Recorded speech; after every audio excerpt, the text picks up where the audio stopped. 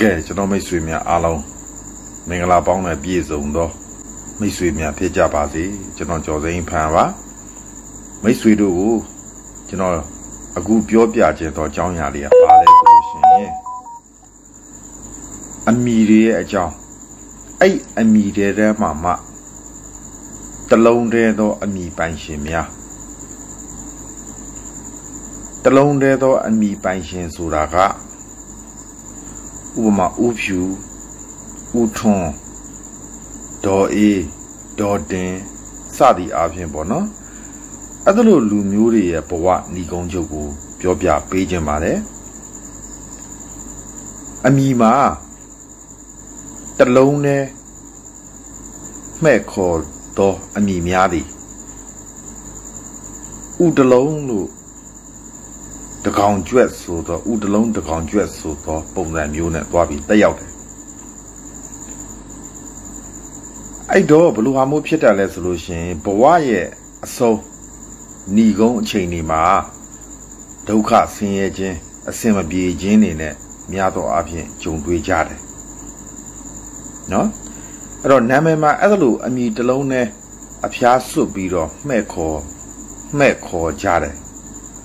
သူ့အမိကတော့သုံးလုံးပဲရှိရှိလေးလုံးပဲရှိရှိအများသူငါတိတာပါဇက်ဖျားမှာတလုံးတည်းသောအမိသာတွင်တွင်ခေါ်မယ်ဆိုလို့ရှင်တော့အဲ့ဒီလူဖို့ကန်ဆိုးတာတွေလာတတ်တယ်ဖြစ်တတ်တယ်ကြုံတတ်တယ်ပေါ့နော်ဘဝหนีကုန်းအဆုံးသက်မလှတဲ့သူတွေ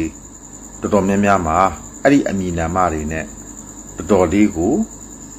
တိုက်ဆိုင်နေဗျအဲ့တော့မိတ်ဆွေတို့ရဲ့ဘဝမှာ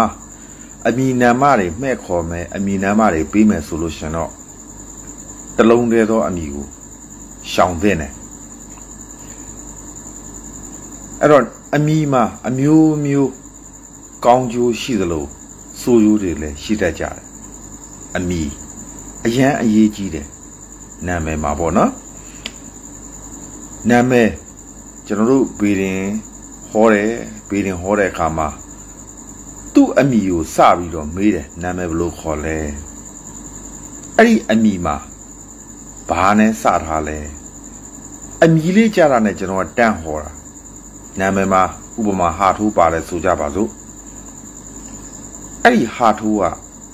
မျက်နှာများခြင်းကမြင်ကြောထခြင်းဆိုတော့အတိတ်ပဲကိုရတယ်အကြောင်းအမျိုးမျိုးကြောင့်ဘဝမှာ မျက်နှာမများခြင်းပဲများရတာမပြောင်းခြင်းပဲပြောင်းရတာမျိုးတွေဖြစ်တတ်တယ်ဒါကအမိပေါ့နော်နောက်ပြီးတော့နာမည်မှာအေးဆိုတော့တလုံးပါခဲ့တဲ့အမျိုးသမီးပဲဖြစ်ဖြစ်အမျိုးသားပဲဖြစ်ဖြစ်အိမ်အောင်ဇက်တွေများတတ်တယ်အိမ်အောင်ရေးတွေမှာအဆင်မပြေမှုတွေဖြစ်တတ်တယ်ဒါနာမည်ပေါ့နော်နာမည်မှာဝါဆွဲတွေများရင်လည်းခွဲစိတ်မှုကြုံတွေ့ရတတ်တယ်နာမည်မှာလုံးကြီးတင်တွေများရင်လည်း ဖိနှိပ်ချုပ်ချယ်ခြင်းတွေခံရတတ်တယ်နာမည်မှာတစ်ချောင်းငိုင်တွေနှစ်ချောင်းငိုင်တွေများရင်လည်းခြေများလမ်းများတဲ့အဖြစ်မျိုးတွေကြုံဆုံရတတ်တယ်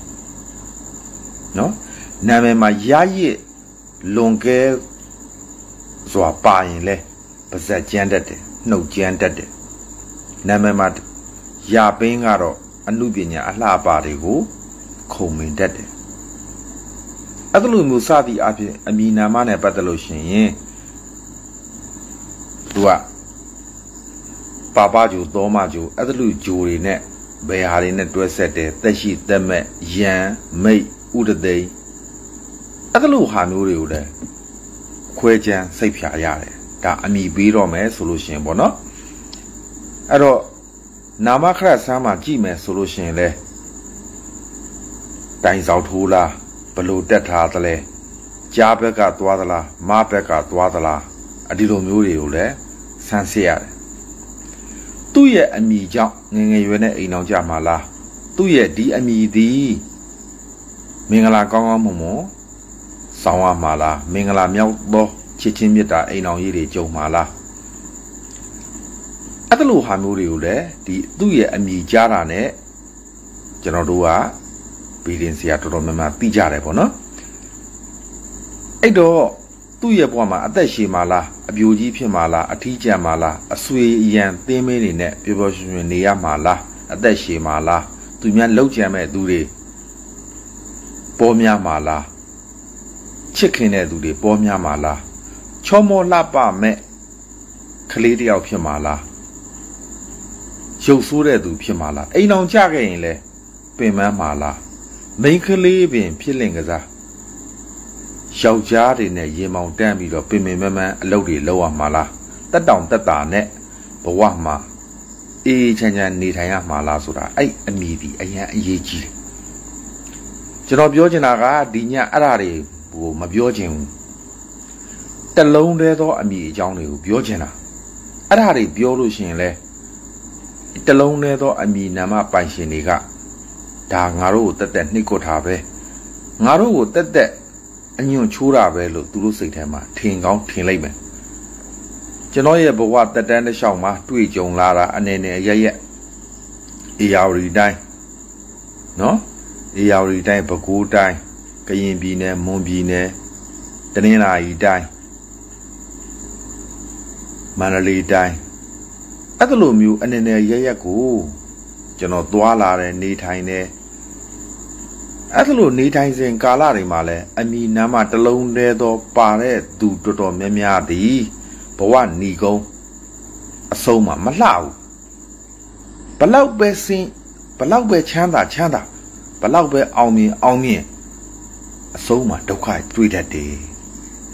နော်အထီးကျန်စွာဘဝမှာဖြတ်သန်းတတ်တယ်ပင်မဆင်းရဲစွာဘဝမှာဖြတ်သန်းတတ်တယ် အဲ့ဒီအထွန်းလုံးအဲစောစောအထွန်းလုံးသူတို့ရဲ့မဟာဘုံမှာအထွန်းလုံးမဟုတ်ဖဲနဲ့အောက်ဂျိုတွေဖြစ်မယ်ဆိုလို့ရှိရင်ပို့ဆိုးတယ်နော်အဲ့ဒီအတွက်ကြောင့်အမိနာမပေးတဲ့အခါမှာကြကြနနရွေးချယ်ဖို့လိုပါတယ်ကျွန်တော်ကတော့အမိနာမပေးရင်အာမနာဘူးသူတို့အကြိုက်ကိုမလိုက်ဘူးနော်သူတို့အကြိုက်ကိုမလိုက်ဘူးကိုယ်စိတ်ကြိုက်လိုက်တယ်ကိုယ်စိတ်ကြိုက်ပဲကိုလုပ်တယ်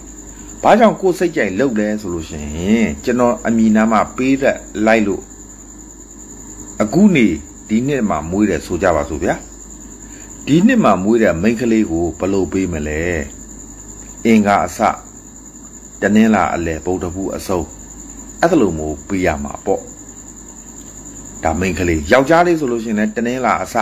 အင်္ဂါအလဲဗုဒ္ဓဘူးအစုံအဲ့ဒါလိုဟာမျိုးပေးရမယ်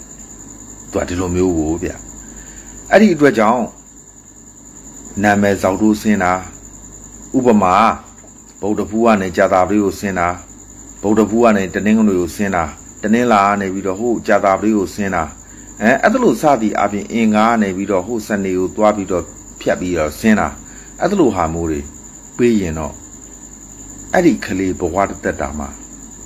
အဆိုးတွေနဲ့ရင်ဆိုင်ရမယ်ပင်ပန်းဆင်းရဲမယ်ခက်ခဲမယ် အကယ်၍များပြကျွန်တော်အသက်အခုက40ကျော်လို့9 45တဲ့ရောက်ပြီကျွန်တော်အသက်ကနောက်ထပ်နှစ်ပေါင်း20ဆိုကြပါစို့ဗျာအဲ့ဒီကလေးလေးလူလားမြောက်တဲ့အချိန်နော်ကံကောင်းလှမှာကျွန်တော်လူလောကမှာရှိချင်မှရှိမှာပေါ့ကံကောင်းလို့နေရရင်တော့ဒါပြောလို့မရဘူးပေါ့နော်အဲ့တော့အဲ့ဒီအချိန်မှာများကျွန်တော်က လူလူလောကထဲမှာမရှိတော့ဘူးတမလွန်ဘဝကိုရောက်သွားပြီဆိုလို့ရှင်အဲ့ဒီကလေးလေးကျွန်တော်ပေးခဲ့တဲ့အမိနာမကြောင့်ဒုက္ခရောက်သွားမှာပေါ့သူပင်မဆင်းရဲမှာပေါ့ကျွန်တော်ပေးတဲ့အမိမကောင်းလို့ရှင်သူ့ဘဝတစ်လျှောက်လုံးဆင်းရဲနှုံချသွားမှာပေါ့အဲ့ဒီအတွက်ကြောင့်သူ့ဘဝတစ်လျှောက်လုံးတက်တောင်တက်တာနဲ့ကောင်းကောင်းမွန်မွန်ရက်တည်နိုင်အောင်မင်္ဂလာကောင်းကောင်းမွန်မွန်ပြုနိုင်အောင် အချွေရန်သင်းမင်းနေနဲ့ချမ်းချမ်းသာသာကြမ်းကြမ်းမာမာရှိအောင်လို့ကျွန်တော်ကစဉ်းစားတယ်အဲ့ဒီကလေးလေးကောင်းစားလို့လူလားမြောက်လို့အလူတန်းနေလုပ်ပြီဆိုကျွန်တော်ကနေထိုင်နေကုသိုလ်ရတာပေါ့ဒါကျွန်တော်ရဲ့အမျက်ပဲကျွန်တော်ပေးလိုက်တဲ့အမိနာမပေးလိုက်တဲ့ကလေးတယောက်ကဆင်းရဲသွားမယ်အသက်တိုမယ်ဘဝမှာခက်ခဲသွားမယ်ဆိုလို့ရှိရင်ကျွန်တော်လည်းစိတ်မကောင်းဖြစ်ရမှာပေါ့တမလွန်ဘဝနေပြီးတော့ အဲ့ကလေးလူလားမြောက်တဲ့အချိန်မှာပေါ့နော်အကယ်၍များအဲ့ဒီကလေးလေးကကြီးပွားချမ်းသာမယ်အလှူဒန်းနေလုပ်မယ်ဆိုကျွန်တော်ကနေထိုင်ကုသိုလ်ရတာပေါ့အမြတ်ရတာပေါ့အဲ့ဒီသဘောပါပဲအဲ့တော့ကျွန်တော်အမိနာမပေးတဲ့အခါမှာအဲ့ဒီအတိုင်းစဉ်းစားပြီးတော့ပေးပါတယ်နာမည်မှာပေါ့နော်မိန်းကလေးတွေအဖို့အရန်ကိုအရေးကြီးတယ်ယောက်ျားလေးတွေကအရေးမကြီးဘူးလားကြီးတာပေါ့ယောက်ျားလေးတွေလည်းမိန်းကလေးတွေကပိုဆိုးတာပေါ့မိန်းကလေးတွေမှာပန်းနံမယ်မပေးကောင်းဘူး ပန်းနံမယ်ပေးရင်တော့ငယ်ငယ်ရွယ်ရွယ်နဲ့အစော်ကားခံရတဲ့ပန်းကောင်းအညွန်ကြိုးခံရတတ်တယ်ဆိုတဲ့အကြောင်းကိုပြောရင်ကျွန်တော်မိတ်ဆွေများစိတ်ချမ်းသာခြင်းကိုယ်ကြီးကျမ်းမာခြင်းနဲ့ပြည့်စုံပါစေလို့ကျွန်တော်ကြော်စိန်ဖန်ကမေတ္တာပို့ပါတယ်ဆုတောင်းပါတယ်ကဲအားလုံးတက်တာဗျာ